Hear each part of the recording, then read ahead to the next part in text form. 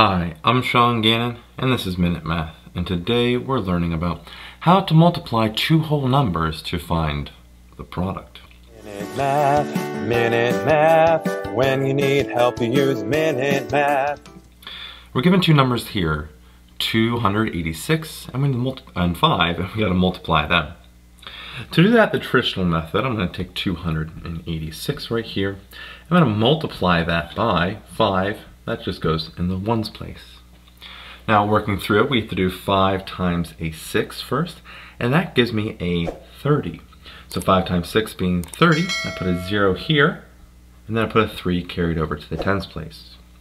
Now, 5 times an 8 is a good old 40, and then we have a 3 added to that. So 40 plus 3 is 43. 3 comes down here, carry the 4. Then 5 times a 2, last one here, multiply that out. 5 times 2 is a 10. Add a 4 to that, and we get a 14. And there we have it.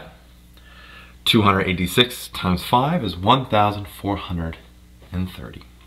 I hope you learned something here on how to multiply two whole numbers to find the product.